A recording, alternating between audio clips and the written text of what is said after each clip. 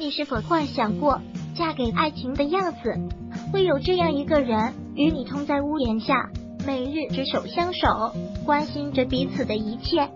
会有这样一个人，在别人夸你脾气好的时候，只在乎你是不是受了委屈，哪怕没有金山银山，他也会眼巴巴的将整个世界捧到你面前，让你感觉自己时刻都是被爱的，只求心喜欢。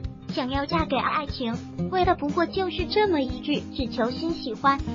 所以，姑娘们想着我爱他，我要嫁给他，就算婚前他一穷二白，但可以一起努力。真心爱他的姑娘不怕吃苦，因为相信着两个相爱的人可以把日子越过越好。人们总是在想生活不止眼前的苟且，还有诗与远方，能让贫瘠的天空缀满繁星。但爱情可以等于婚姻吗？有一个读者的故事，他和喜欢的人读大学期间相识，因为双方家境悬殊太大，男方父亲常年瘫痪，女孩父母心疼女儿，怕她嫁过去会吃苦，便始终反对。但女孩却认为父母不懂真爱。大学毕业后，不顾父母伤心，坚持要嫁。婚后，她以为会幸福的生活，很快被现实生活折磨得她哑口无言。每天下班后，她得操持家务，还要经常帮婆婆照顾不能自理的公公。而那个说会一辈子照顾她的男人，习惯了下班回家就休息。一开始只会和她说辛苦你了，到后来连这句话也没有了，一切都变得理所当然。有时现实就是这样，在不经意间甩人巴掌。当她自认为嫁给爱情了。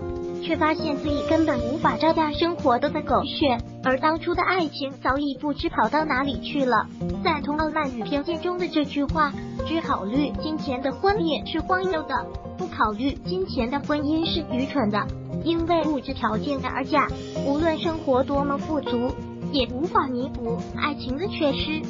但以为友情饮水饱，只要爱情，不顾一切的加入一场没有物质根基的婚姻。”这又是不明智的。我有一个朋友葛令，她结婚两次，此次以失败告终。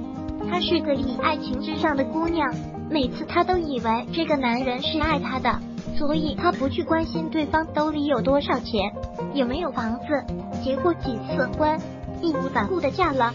她觉得婚姻只要有爱情就好了，生活只要爱情就美满了。但是现实是，她的第一任老公工作不顺。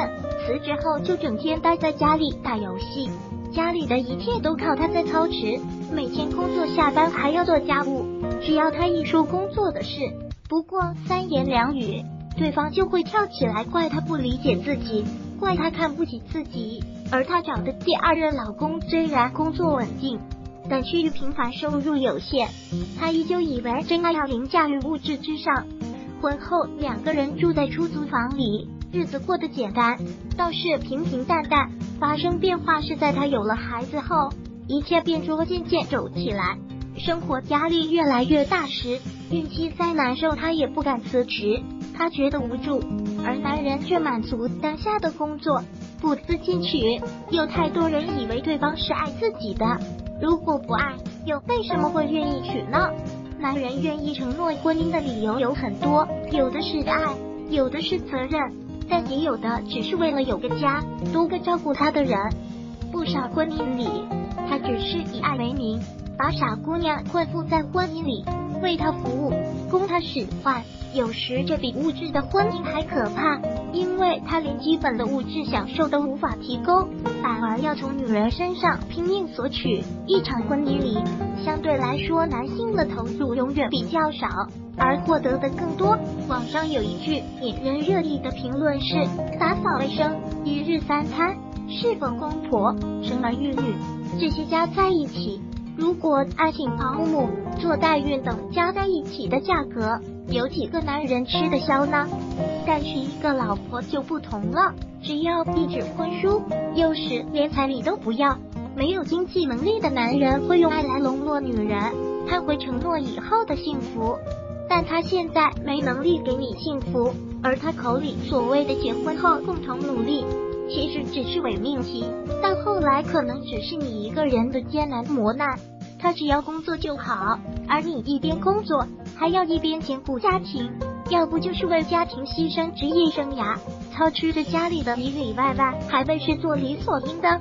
最难过的还未必是这个男人一直穷，而是当女人以为自己忽略物质嫁给去男人会感激，结果男人只会觉得是因为女人自己没本事找到有钱人，想要嫁给爱情的姑娘，其实是在奔向幸福。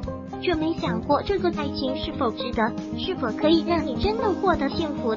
毕竟幸福不是虚无缥缈的东西，必须得有一个坚实的物质基础。如果在婚前他都不去努力为你创造一个较好的基础，又凭什么相信结婚后他会和你一起努力，会把你捧在手心宠爱呢？凯哥始终认为，什么是男人的真爱？真爱就是不舍得你跟着他受苦。一个有担当的男人会想照顾好爱的人，懂得努力去创造好的物质基础。就连在动物界，雄性鸟类都会先造好一个巢，然后吸引雌性来一起组成一个家庭。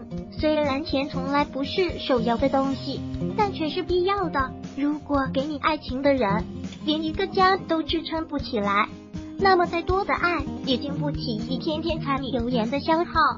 生活会告诉你。爱情或许是诗和远方，但只有诗和远方，却怎么也构成不了俗世生活。终有一天，那个献上鲜花的人，也为你准备了丰盛的幸福未来。就嫁给这样的爱情，活成幸福的样子吧。And 每一个白天，每一个夜晚，我都陪在你身边。如果喜欢本视频，请分享并订阅本频道。